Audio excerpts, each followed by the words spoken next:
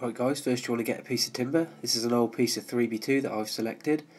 I cut it to length and I've given it a good sand down just to take any rough edges and splinters off of it.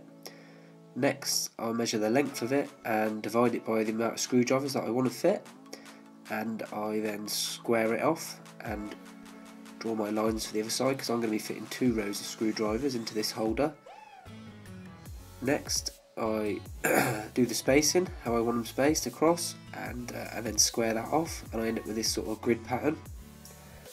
Next I then mark uh, where I'm going to drill the holes, and in this instance I've gone for a 7mm diameter hole uh, in my drill because that's the, um, the thickness of the screwdriver shafts that I'm going to be putting in this holder. So once I've drilled them, I then get my um, countersink bit and do the top and the bottom of the holder. Just take any rough edges off. Give it another sand down. And there you go. You could either put some feet on this and have it on the desk on your workbench or you could do what I'm going to do and fix it into the uh, wall of my shed.